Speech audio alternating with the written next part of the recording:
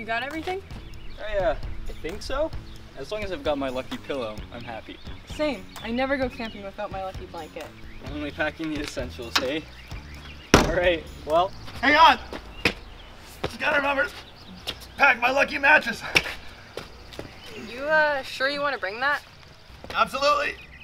It's got a 10 year warranty. It'll be fine. I don't think that's covered. I just don't think that's gonna fit in the car, is all. No, it'll fit.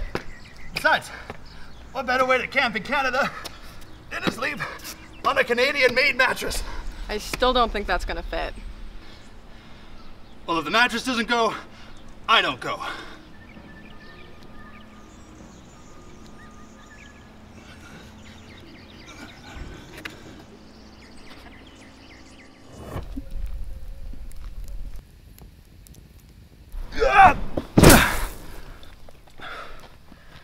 Told you it'd fit.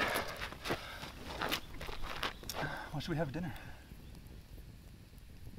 Oh, by the way, I'm gonna need to borrow your pillow and your blanket. I couldn't fit anything else in the car.